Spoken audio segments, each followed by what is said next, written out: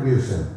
President Ranil Wickremesinghe on Wednesday delivered the Lalith Athulathmudali commemorative freedom speech at the BMICH.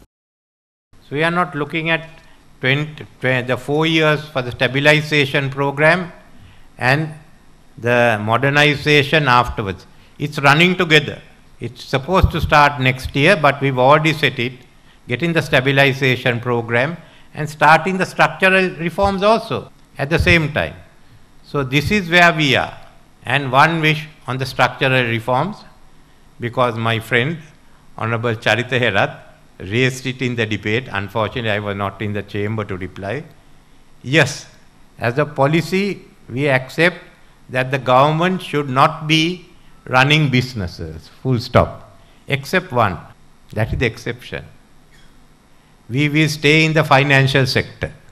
We will build the, uh, the banks we own and make it stronger. But it will be run like any good commercial bank, and we don't mind giving a part of the minority shares to the deposit holders, amongst others. It will bring some discipline in. And what we did today, a digital economy. So it's a highly competitive uh, economy which is export oriented, which has social protection, which is environmentally friendly, and the characteristics is a blue green economy.